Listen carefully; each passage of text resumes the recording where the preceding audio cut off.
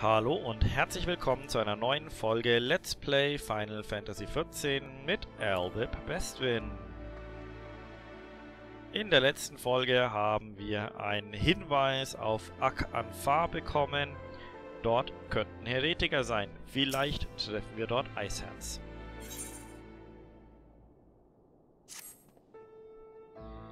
Ak Afar? Hm.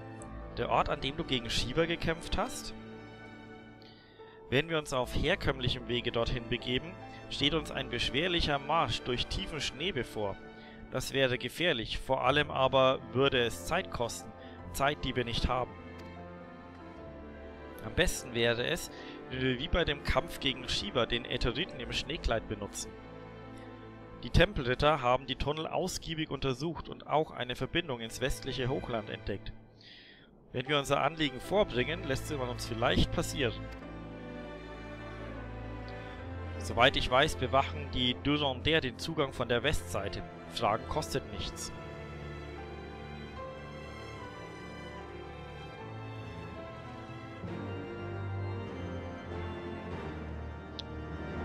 So, dann geht es wieder rauf.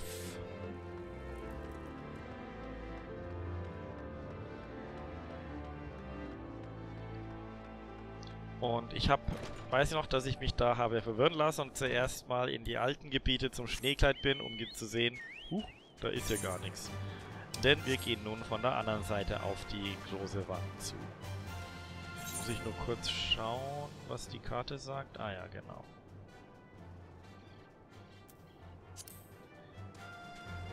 Ja.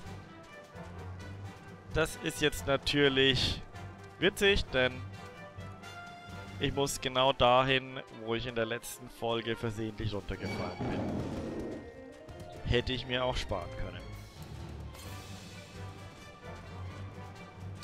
Südwest. Okay, das wird dann da hinten irgendwo sein. Das machen wir dann mal anders mit der, der nächsten Windätherquelle. So.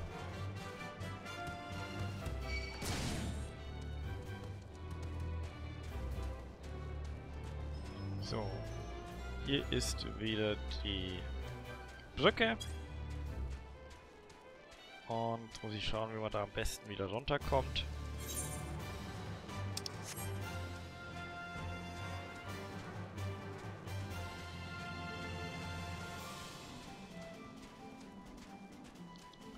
Ist es sicher, da runter zu springen? Oder ist... Ah, nee, das sind Mobs und da gehe ich nicht.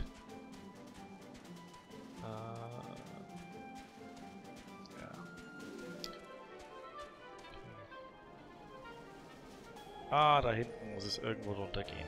Auf der anderen Seite der Brücke.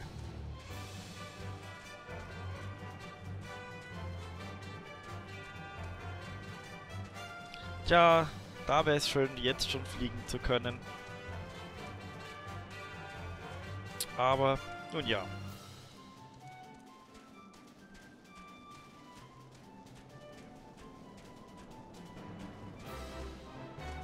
Ah, hier, hier geht's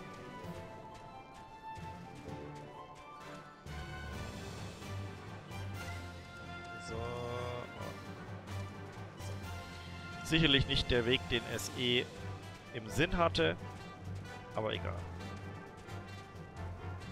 Ah, okay.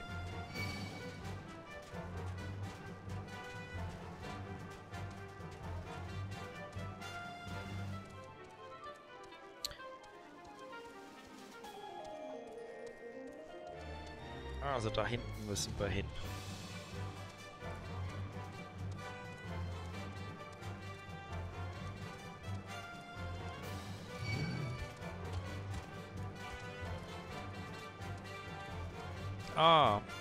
Sehe ich doch schon, da gibt es eine Solo-Instanz. Na dann, auf geht's. Ihr seid Eisherz auf der Spur und begehrt den Ätheriten zu nutzen, es sei euch gewährt. Ausgezeichnet. Dann auf nach Ak-Afa. Doch wir sollten uns nicht unvorbereitet in die Tunnel begeben. Shiva mag besiegt sein, aber noch immer streunen wilde Tiere umher von wehgeladenen Heretikern ganz zu schweigen. Ja. Entschuldigung, ich habe vor eben den einen Text zu schnell weggeklickt, aber wird schon nichts Wichtiges gewesen sein.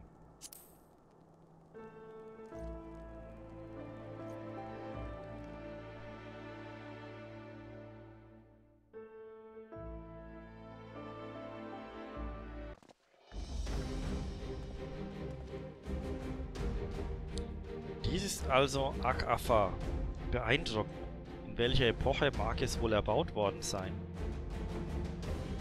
Ich fürchte, wir müssen eine Besichtigungstour kurz unterbrechen. Unsere Gastgeber scheinen nicht besonders gut gelaunt zu sein.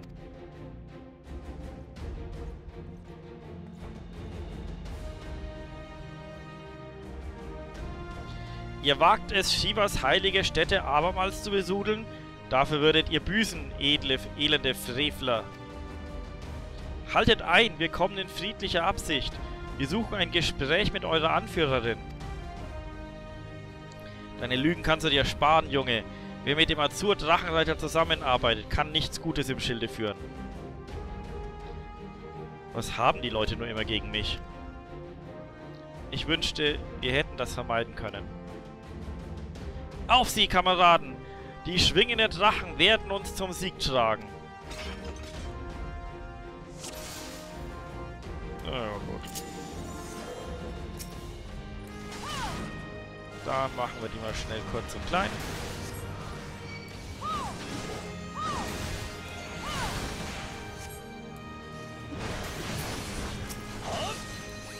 Erstmal hier die Magier, die gehen am schnellsten down.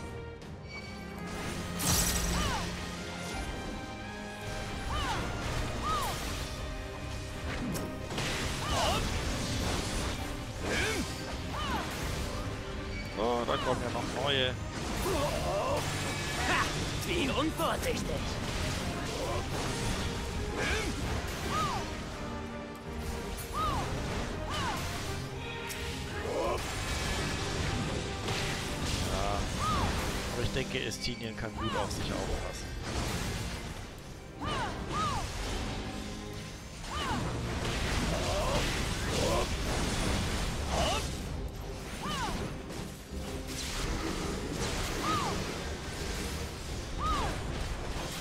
Oh, sie haben sich in Drachen verwandelt.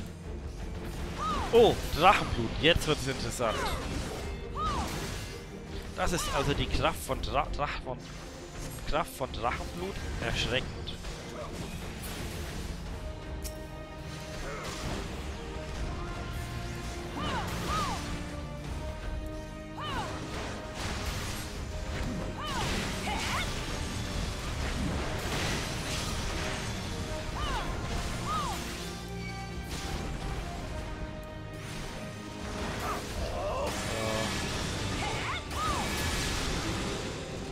Ah, mal schnell den Traumaturgen aus dem Weg räumen, bevor der sich auch in Drachen verwandelt.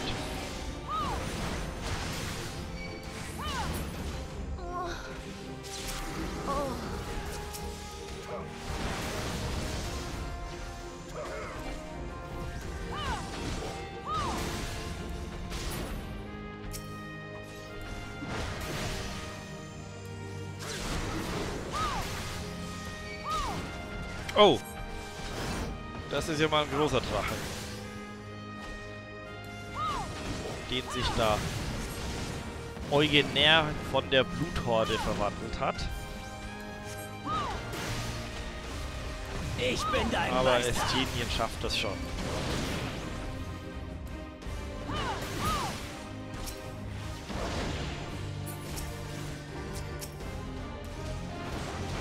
Zauber, vernichte. Da kommen denn jetzt noch?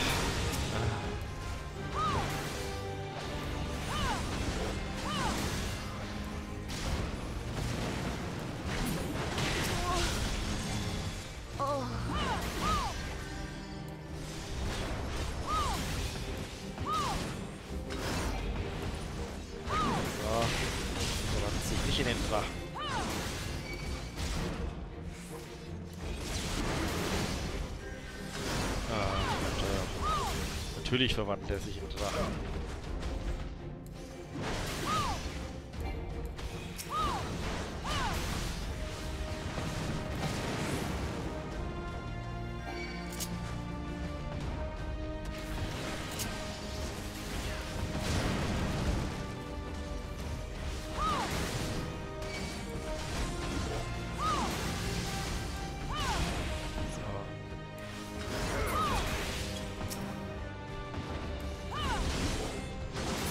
Jetzt aber.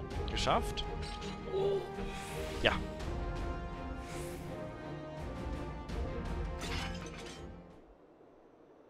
Verflucht. Sie müssen mit Dämonen im Bunde stehen. So haben wir keine Chance. Ak-Afar ist verloren. Wir ziehen uns zum Aschennest zurück.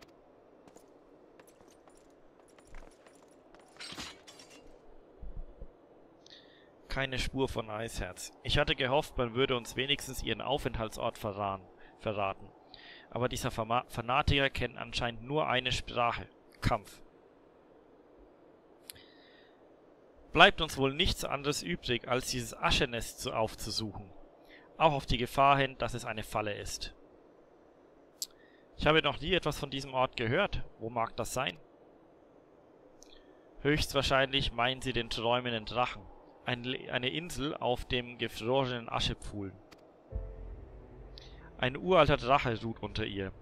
Er wurde vor 500 Jahren vom amtierenden Azur-Drachenreiter in einem erbitterten Kampf verwundet und dann von Magiern der Kurie mit einem Schlafzauber belegt. Auf den Leib des Drachen regnete Asche hinab, die ihn irgendwann völlig bedeckte und eine Insel formte. Das klingt in der Tat nach Aschenest. Also gut, lass uns ins westliche Hochland zurückkehren und die Insel aufsuchen.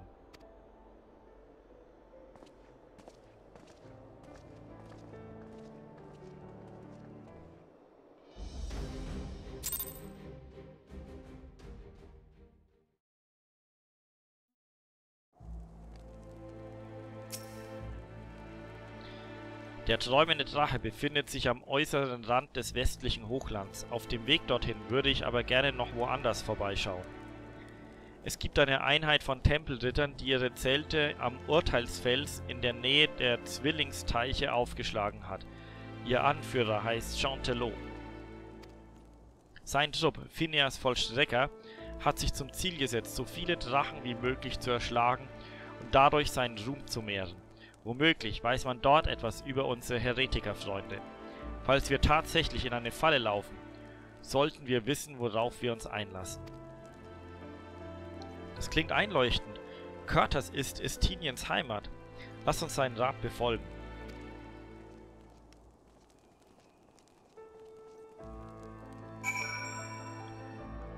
Okay. Das ist dann... Ah ja, genau. Da, wo ich dachte.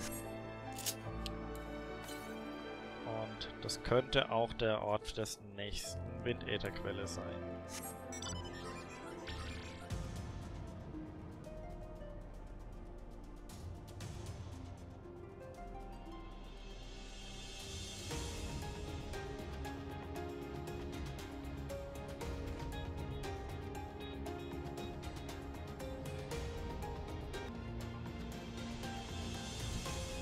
Oh, hier ist eine Windätherquelle.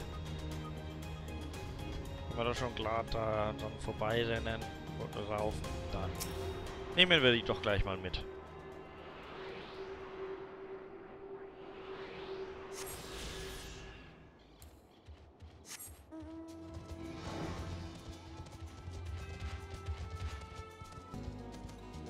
Und dann sind wir hier auch bei Jantelot.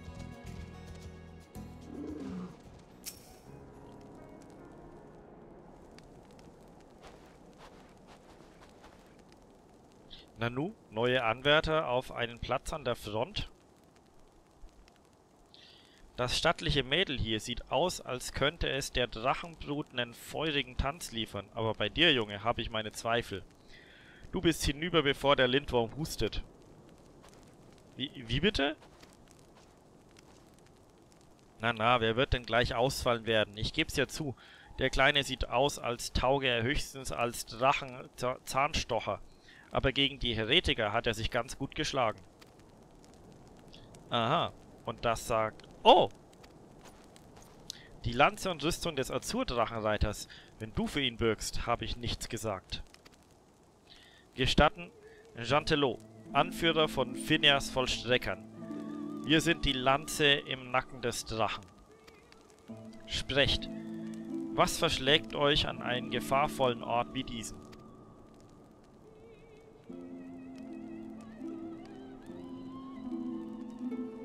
Er jagt Eisherz und ihre Männer?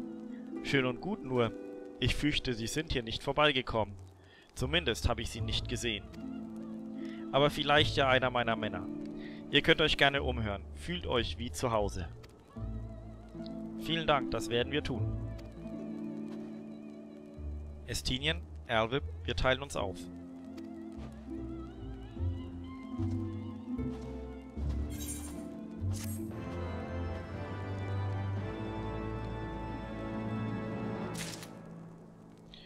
So, und jetzt gibt es hier auch wieder schöne Quests mit Blau. Unter anderem bei Jean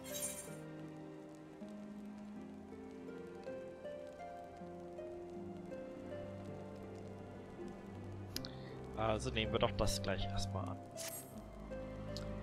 Unsere Liebe für die Drachenjagd nennst du also Besessenheit? Du magst vielleicht viele Teile der Welt kennen, aber diesen hier kennst du nicht.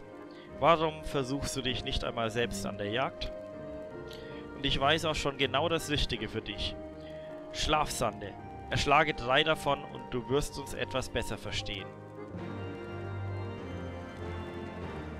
Oh, die haben wir doch gleich hier in der Gegend. Und da oben ist eine Windätherquelle. Sehr schön. So denke ich mal kurz außen rum.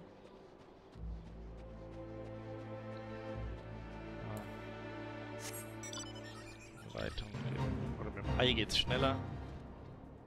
Komme ich da rauf? Nein. Da muss ich mich... Naja, machen wir erstmal diese Schlafsand.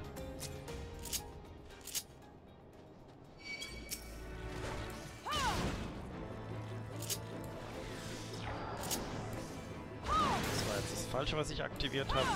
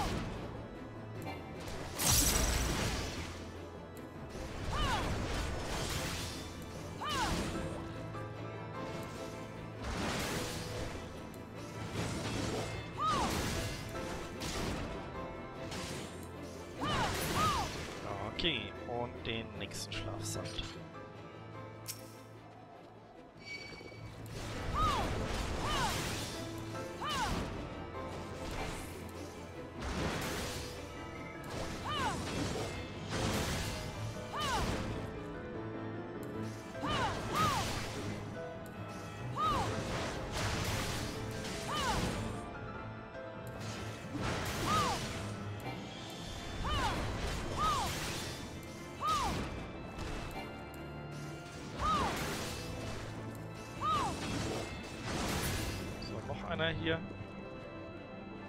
Aber da unten habe ich jetzt schon einen gesehen.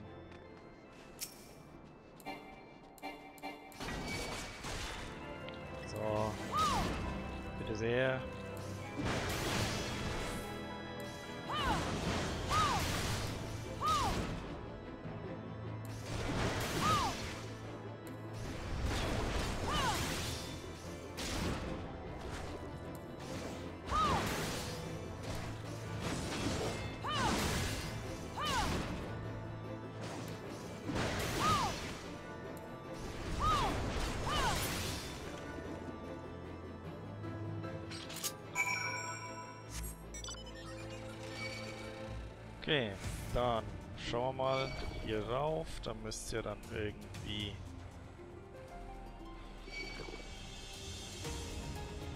zur Windätherquelle gehen, vermute ich mal. Ah, hier unten.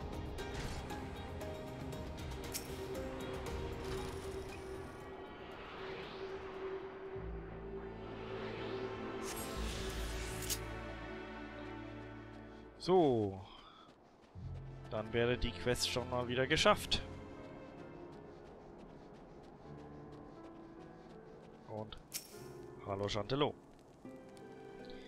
Du hast tatsächlich schon drei Schlafsande erschlagen? Mein Respekt. Das hat dich bestimmt viel Schweiß und Blut gekostet, was? Nicht? Ähm, aber natürlich nicht. Schließlich sind Schlafsande ja auch kein Drachen. Aber ich wollte dich nicht überfordern. Das ist dir doch klar, oder? Schlafsonne sind selbst für frische Rekruten keine große Herausforderung. Wir streben nach Ruhm und Ehre im Kampf gegen die größten und stärksten Exemplare der mächtigsten Drachenarten. Okay, nächste Windetterquelle. Äh, wie sieht's denn aus? Was haben wir denn schon alles? Ah, nur noch drei zum Holen. Eine gibt... Okay, jawohl. Die eine Quest weiß ich auswendig, die letzte gibt's über Dings. Das bedeutet eine Quest. Okay. Ja, wir sind ja schon relativ weit. Uh.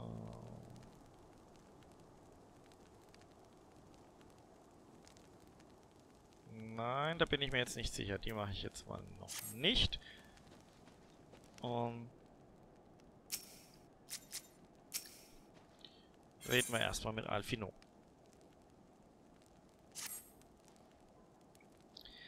Wir sollten uns bei den Leuten hier umhören. Versuche etwas über Eisherz oder die Heretiker in Erfahrung zu bringen.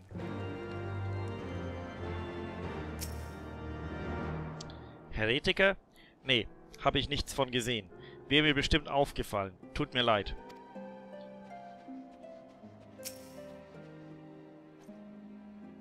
Du suchst nach Heretikern? Da muss ich dich leider enttäuschen. Hier sind keine vorbeigekommen. Interessiert mich auch nicht. Wenn es ein fetter Drache wäre, dann schon eher. Hab schon ganz steifen Nacken vom ständigen Ausschau absuchen des Himmels. Das Kleinvieh hier unten ist mir nämlich eine Nummer zu handsam. Na.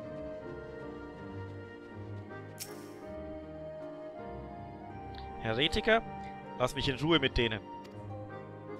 Hab alle Hände voll zu tun, die Idioten hier zu verpflegen und ihnen hinterherzuräumen. Was also außerhalb des Lagers passiert, Kriege ich nicht mit. Frag mal Pierre Cat. Der sieht aus, als hätte er die Ruhe weg.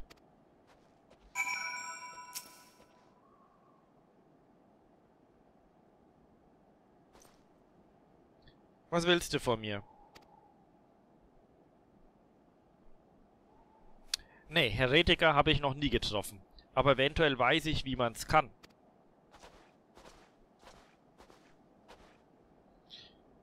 Ist das so? Dann sag es uns. Was sind für jeden, wir sind für jeden Hinweis dankbar. Kommt bloß nicht auf die Idee, ich hätte Fahnenflucht im Sinn oder so. Ist das klar? Ich bin rundum zufrieden. Hab schon unter Chantelos altem Herrn in dieser Truppe gedient. Hier war man immer gut zu mir. Kann mich wirklich nicht beklagen. Aber es gibt auch ein paar, die nicht ganz freiwillig hier sind. Arme Schlucker, die man zum Kampf gegen die Drachen verdonnert hat. Denen stinkt der gefährliche Job gewaltig. Man hört sie ständig maulen. Ein gefundenes Fressen für die Heretiker, die versuchen sie abzuwerben. Versprechen ihnen Freiheit und Gold und so. Durchaus mit Erfolg, wie es scheint. Eisherz Trupp ist in letzter Zeit merklich gewachsen. Also, ich habe das vor ein paar Überläufer, ich habe da vor ein paar, das von ein paar Überläufern gehört. Wer sich den Heretikern anschließen will, soll im westlichen Hochland violetten Rauch aufsteigen lassen. Ein Rauchsignal? Warum nicht? Wenn sich die feigen Ketzer von alleine nicht zeigen, dann rufen wir sie eben.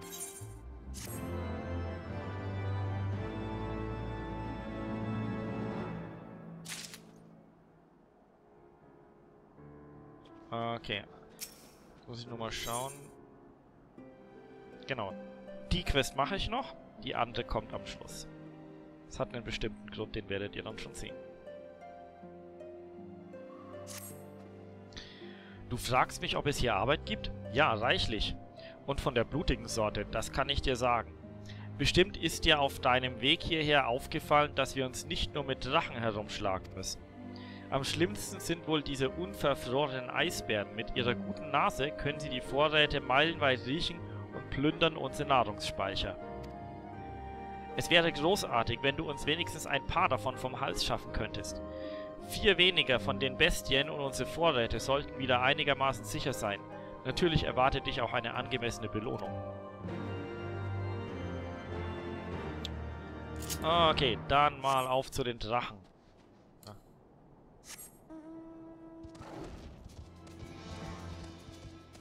Aber die sind ja gleich hier vor der Haustür.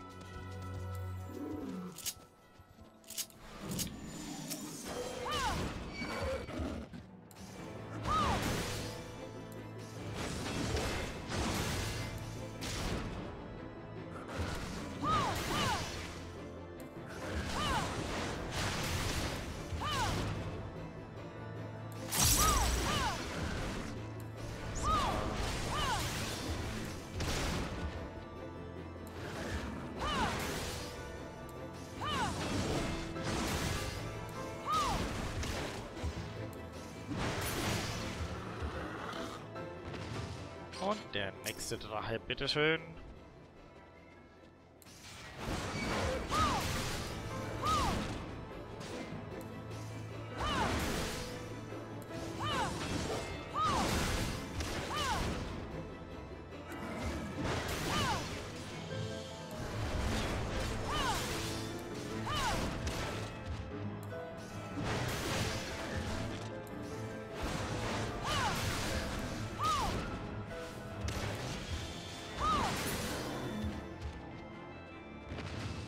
Und da vorne sind ist noch einer. Und da hinten der vierte. Und dann haben wir das auch geschafft.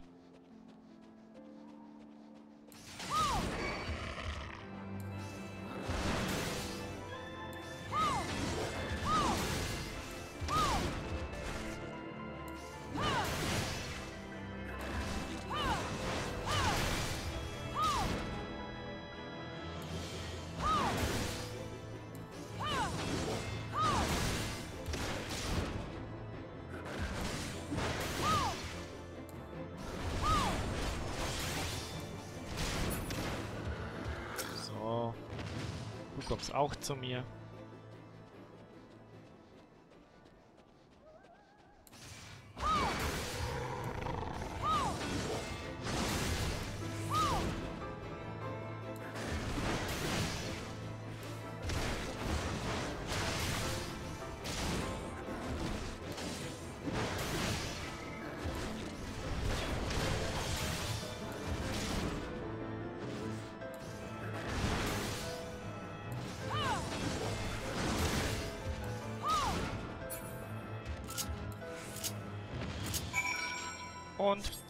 Zu Luciae. Luciae. Oder wie auch immer man die ausspricht.